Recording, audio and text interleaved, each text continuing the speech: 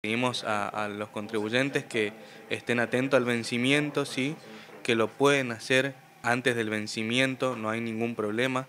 Si quieren hacerlo un mes antes, lo pueden hacer tranquilamente. El trámite eh, es de sobre la Agencia Nacional de Seguridad Vial.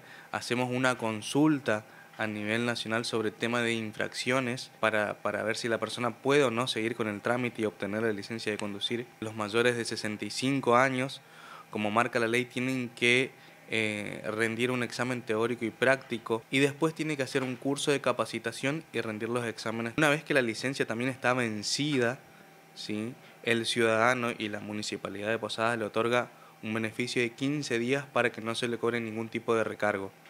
No así no está habilitado para manejar. Puede venir a renovar eh, tranquilamente acercándose con su DNI, que tenga jurisdicción, domicilio en Posadas. El trámite que va a hacer sea renovación, una ampliación de categoría o llevarla a una profesional, son otras series de requisitos que demandan más tiempo. La ley marca bien claro a los 16 años para ciclomotor, siempre estando autorizado por los tutores legales, serían los padres, y 17 años cumplidos para auto, también siempre autorizado por estos tutores legales.